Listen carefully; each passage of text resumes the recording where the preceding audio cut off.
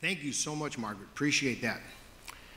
Well, I know what you're thinking. You're thinking, it's crazy. There's snow on the ground, and some of you, you know, you had to get up and you had to shovel to just get out of your spot or to get out of your driveway, and you had to go that extra mile. Maybe some of you had to shovel more than one person's walk, like I did this morning. And maybe uh, you're thinking to yourself, uh, was it worth it? Well, I'll tell you, if you were here this morning, the worship was just fantastic, wasn't it? And it just, just being aware of the reality of God, it changes us. You know, um, we've been going through our series. We've been doing a series in the book of Ephesians, just a delightful book. And we've, we've seen all that God has done for us. We've seen this deep theology of who we are in Christ. We see our position, and it's just an exalted position, not because of anything we've done, but in complete um, uh, dependence upon God. We've, we've come to the reality of what He's done for us, and we've received this wonderful position through His mercy and His grace. And so everything we do from that point forward, the moment that we embrace who Jesus is and what he's done for us and put our faith in him, everything we do as Christians is in response to his grace for us. In light of all that he's done, we don't do things to get God's favor. We don't do things to have God like us more. We don't do things to get his blessing. God blesses us, and therefore we want to do things for him in response out of gratitude. And we could never thank him enough, right? And that's really what this series has been about. It's about seeing who you are in Christ and then saying, now that I am this wonderful, exalted child of God, why don't I live a little bit more like a child of God? Um, for the past couple of weeks, we've been talking about what we call this worthy walk and what it actually looks like. A walk that is worthy of the calling. What does it look like to live it out? This enlightened life, this life that's been empowered by the Spirit of God. Because if we're a child of God, if you've trusted in God as your Savior, you have God's Spirit. And so now we have a new enablement to do things that we couldn't do ourselves. And so we've been reading some things, and, and everything in this passage uh, in Ephesians chapter 4 that we've been talking about, it just could be summed up in something really simple. It's about a selfless life. Because really, before we knew Jesus, before we had any motivation uh, to want to live for Him, we basically lived for ourselves, right? And this selfless life is a different kind of life. It's one that says, I consider others above myself. Paul says in the passage we were reading uh, just a couple weeks ago that we are members of one another. So, this worthy walk that we're talking about is, is a life that produces this authentic community of believers. Now, for some of this, for some of us, this concept is sort of radical. It's a radical departure from the old life because all we ever thought about was ourselves. And now all of a sudden, God's saying, Hey, I'd like you to just look around and see who's next to you on your right and your left. See who you're doing life with. Uh, now that we're saved, we recognize that we are part of a body and all of our actions affect those around us, they affect our brothers and sisters. So, the things that Paul has been addressing, they're the very things that we need if we want to promote a healthy, unified body of believers. I mean, these are the things that make good relationships. But what happens when we don't treat others well? Well, I want to look at this verse here as just a, an introduction to just as a touchstone, what we're going to talk about, we're going to get to. But I want you to just look at this verse. After saying all these things, he talks about, he says uh, right here in uh, verse 30, do not grieve the Holy Spirit of God, by whom you were sealed for the day of redemption. So he's, he talked about a lot of different things. We've been talking about very practical stuff, right? But like lying or anger or stealing, right? So when we lie, or when we display this sinful form of anger, or, or when we steal, or when we tear down other people with our words, um, what we're doing is we're grieving the heart of God. It's, it's an uh, interesting concept, don't you think? Do you, do you realize that? Do you, do you realize that we grieve God? And do you know what grieves God? Just those things that we've been learning. When, when brothers and sisters don't live together in unity, when those who have been given so much are clinging on to this bitterness and anger towards someone who has wronged them. And I just think how much it saddens God when we lash out with intent, with our words to inflict harm on someone's soul. We want to, ooh, stick a, a real uh, sword in their side. Have you ever considered that your behavior can grieve the heart of God? It says that the Holy Spirit is grieved. The Holy Spirit is not a force, He's a person. He's, he's an infinite being, but he's a person with feelings and emotions just like you and I. And because the Holy Spirit has been imparted to us, because he indwells us, he is intimately connected with us. We have his divine nature dwelling in us. So every time we sin, it, it hurts God. Every time we sin, we're resisting the Holy Spirit's work in our life. And, and it's not because God, it, it, just because God is holy, it's because He cares about us and He wants the best for us. And it kills Him when He sees us hurting ourselves or, he, or when we're hurting other people. And you know, as parents, we can relate to this, right? I mean, it would just kill me to see my kids walk away from God because I'm crazy about them. I'm crazy about my children. And as a parent, I want what's best for them. So I don't want them to make the mistakes that many people before them have made. So that's my desire, and that's God's desire for us. And so Paul says, This spirit with whom you have been sealed, by the way, that means you are sealed. That means God has you. You are formetically sealed. You're sealed by God with His very own Spirit, and He will hang on to you to the day of redemption because your salvation is not based on your behavior, it is based on Christ.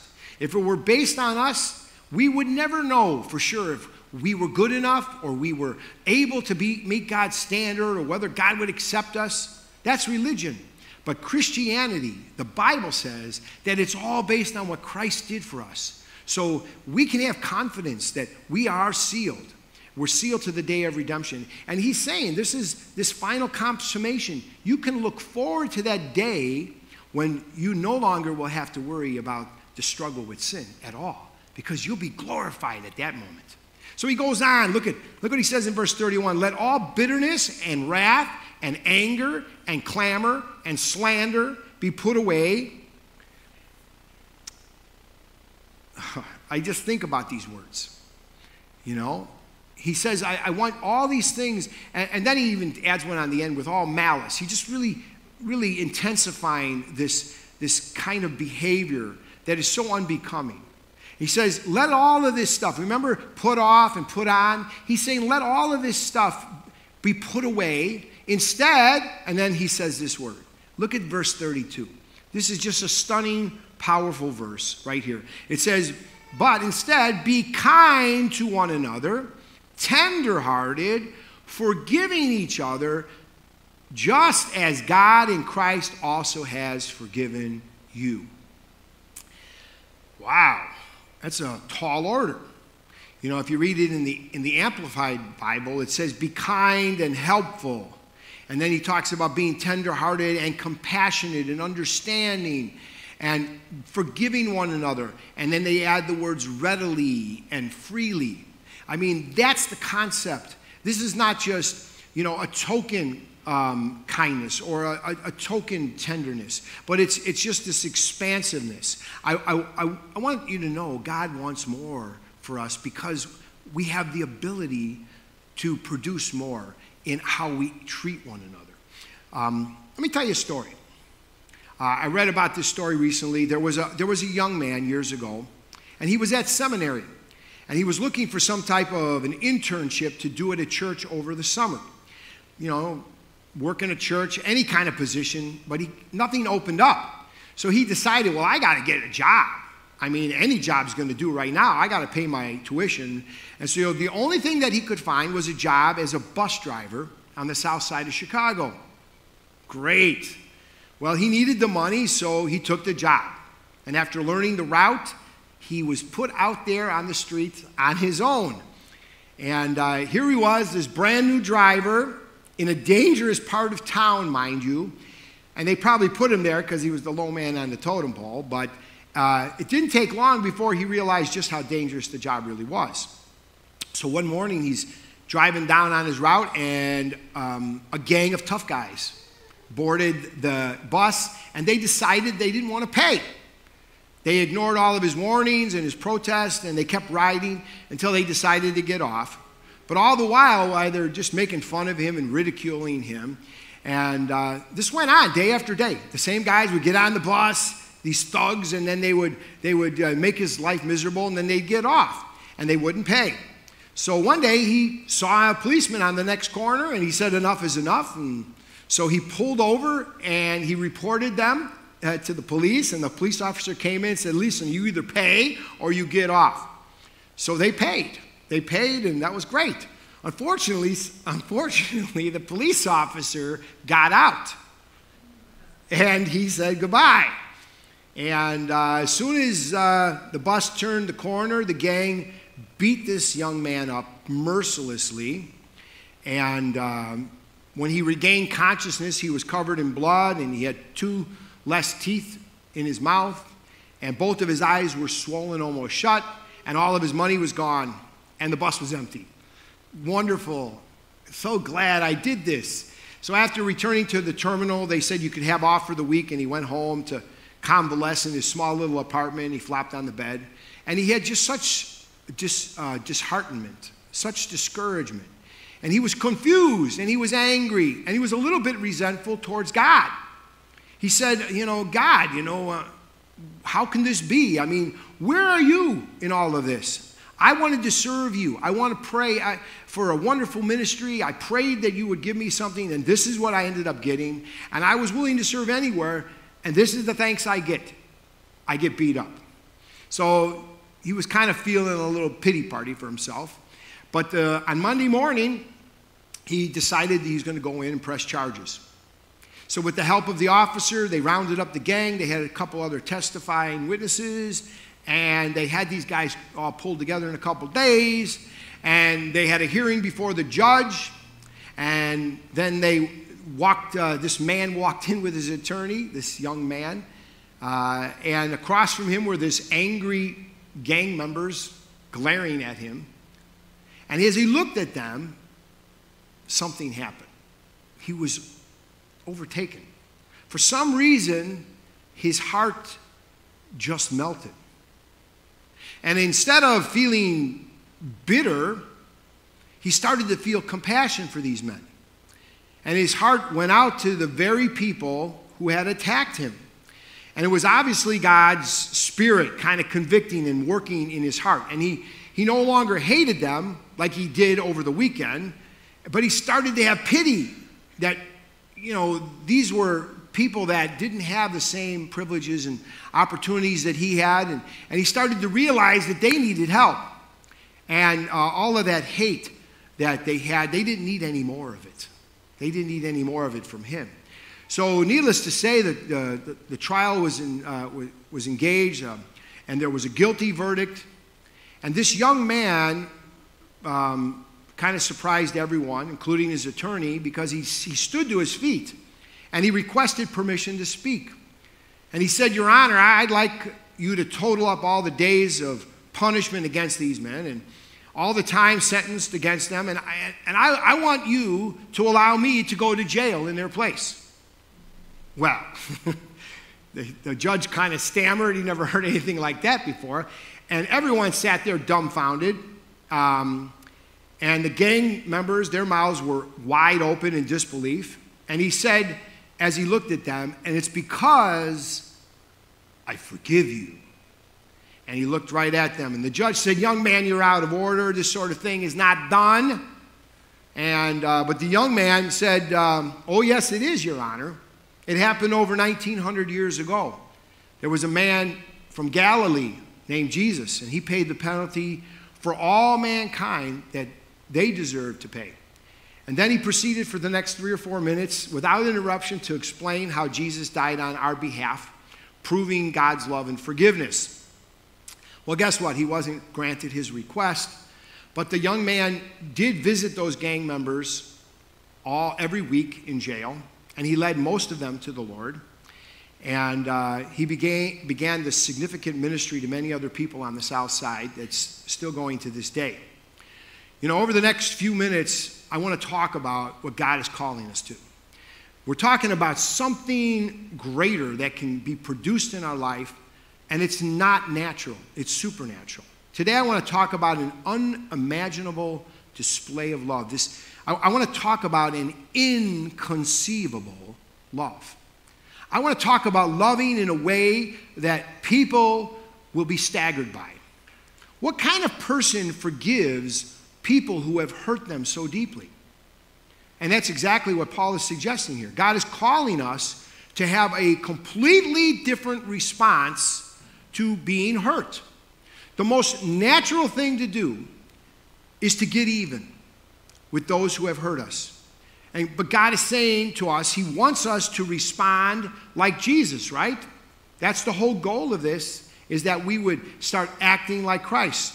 So it's unfortunate um, in this passage that there's a chapter division because this really shouldn't have had, uh, it, it, kind of flows together if you just read it. Let me read that verse to you again and then right into chapter 5. But it says, Be kind to one another, tenderhearted, forgiving each other just as God in Christ also has forgiven you.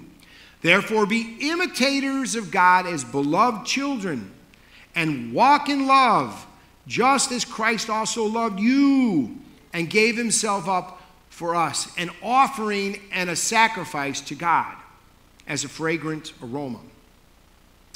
So, you, you know, you look at this passage, it says that we are to be imitators of Christ. What was Christ like? I mean, remember Jesus? Remember when he was mistreated and he was abused and he was betrayed and he was abandoned? What was his response towards his perpetrators? As he hung there bleeding, I mean, his life is ebbing away, having endured such unspeakable torture, uh, and yet there was no hint of hate. And he, he hung there and he said these words Father, forgive them, for they know not what they do. Father, forgive them, for they know not what they do. Can you imagine that? What man would pray for the very men who were executing a death sentence? Who, the, the same people who had beaten him with glee. What could drive this man to forgive those who were actually murdering him? And it was really simple. It was because his love, the love of Jesus, was greater than his hurt. The love that Jesus allowed himself to be unfairly treated, to be ridiculed and abused, his love for their soul was greater than his need to be vindicated. What's more important, that I be vindicated? These, I never really did understand the Old Testament. They have these things called the imprecatory Psalms, where the Israelites would, you know, would want to have the, you know, please destroy my enemy, wipe him off in the face of the earth. Just really harsh, you know? Because I think the real heart of God is that He's always striving after us, He's always trying to reach us. Now, this wasn't just a momentary act of love on the cross, this epitomized Jesus' whole life. It was what He taught the people. He wanted them to respond in a radical way. If you look back in Matthew, remember Matthew chapter 5, verse 43?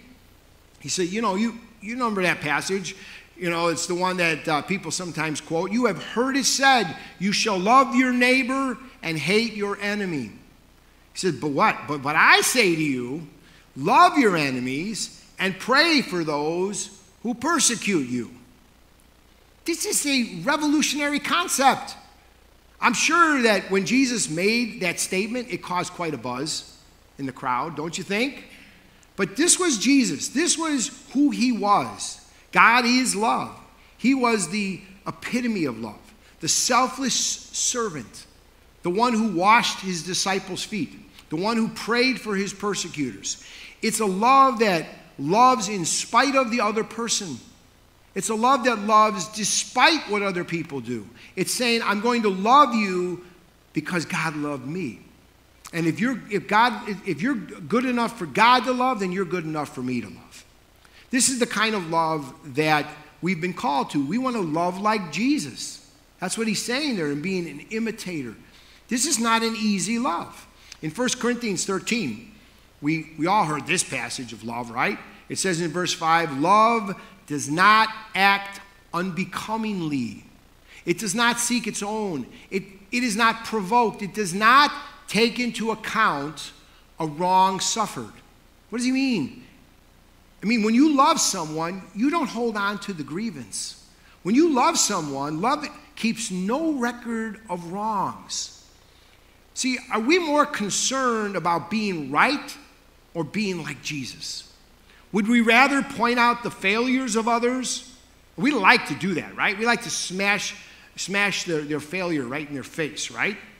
Or would we rather be motivated by our desire to live together in unity? You know, I talk about this in marriage counseling. Many times I've had couples who came to my office, their marriage is in crisis, they're dealing with a problem, they don't know what to do, and uh, you're listening to them, and many of the things that they're complaining about are so trite. It's so, so silly. He leaves his socks out on the bedroom floor. Oh my goodness, they're ready to call a divorce attorney, but he, because he leaves his socks out on the floor. So I would say to them many times, is this the hill that you're willing to die on? This issue, do you, do you want to be right or do you want to be one? And that's really the bottom line.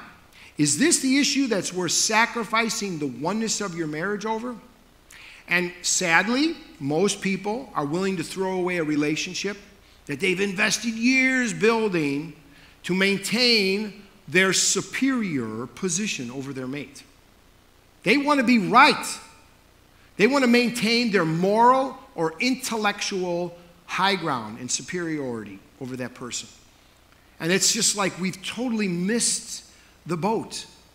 That's not love. That's dominance.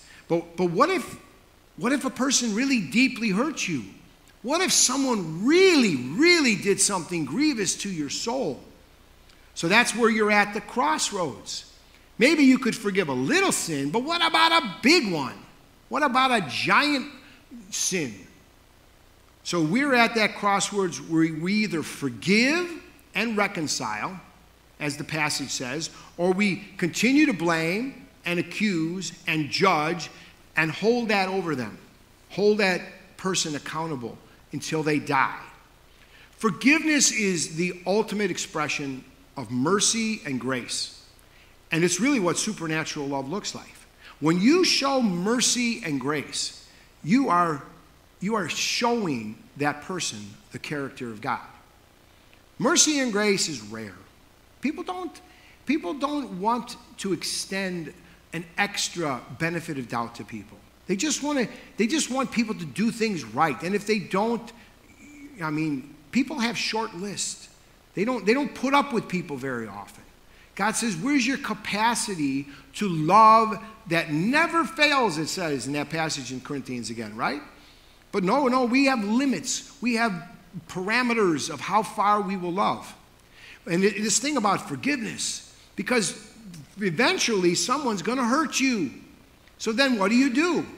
You know, in Matthew chapter 6, Jesus, we all have prayed that prayer, the Lord's Prayer, and forgive us our debts as we also have forgiven our debtors. Have we? we love to be forgiven, right? We ask for forgiveness from God and other people, but we don't always we're kind of stingy. We don't want to extend that same response in return. Do we forgive our debtors? I remember that story of the man that Jesus talked about who owed a great debt. You remember this story? It says that he owed the king 10,000 talents of gold.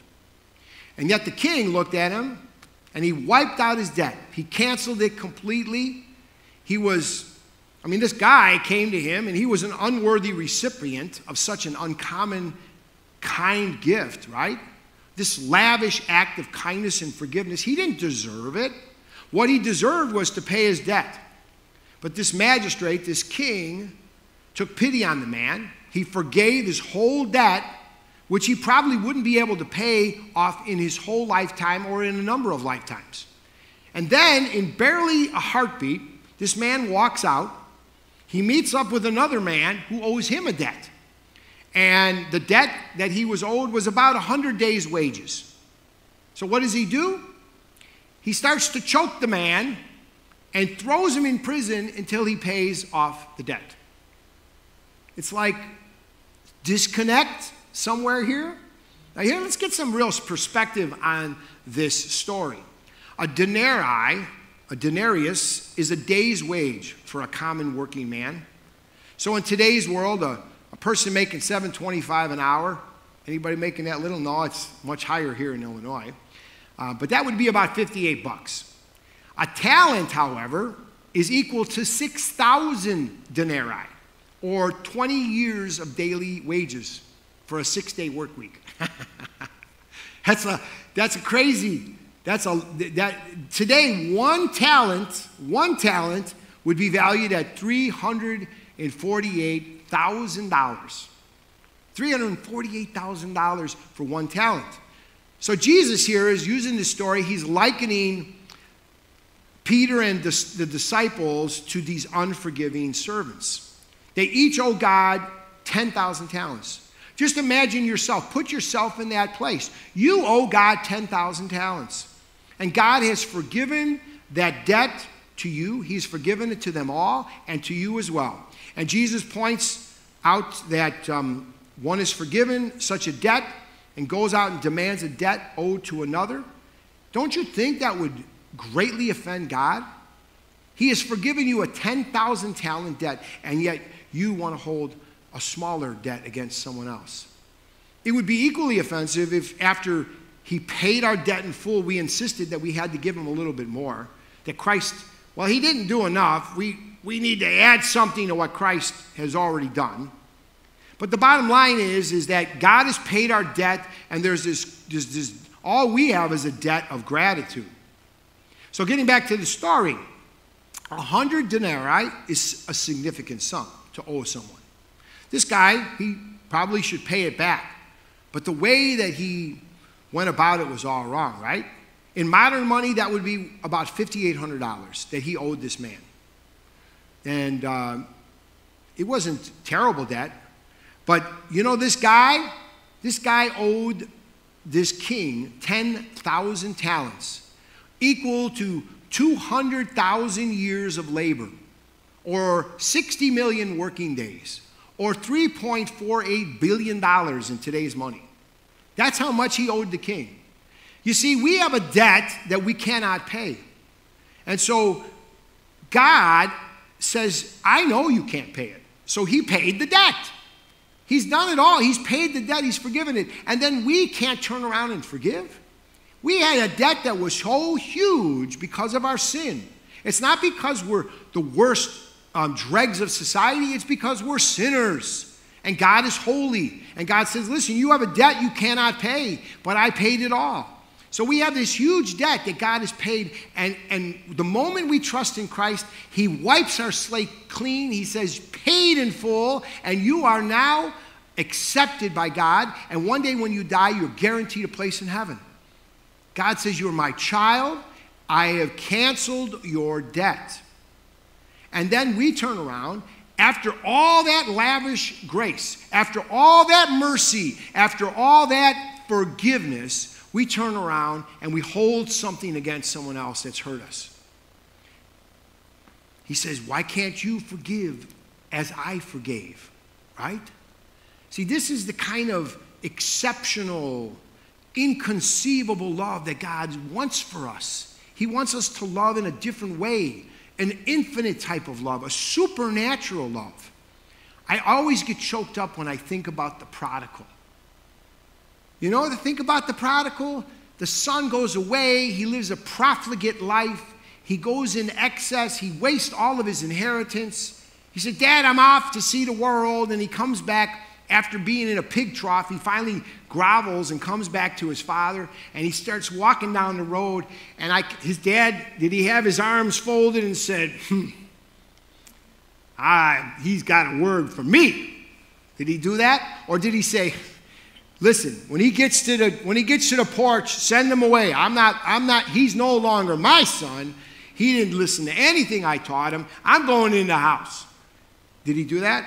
No, it says that he saw his son in the distance and he ran to his son because he loved him.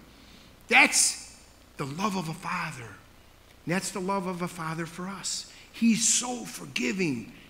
We fail him so often, and he just keeps on forgiving.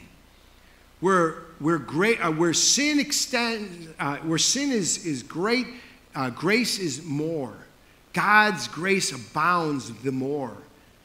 For every time we fail, God is willing to embrace us and take us back because He's a loving Father, a forgiving Father. And so I think that's the kind of model that we want for our lives as Christians. Now that we have known Jesus Christ and trusted Him as our Savior, why not love in an inconceivable way? Be kind, tender hearted forgiving one another, just as God in Christ has forgiven you. That kindness, that tenderness, we're so hard.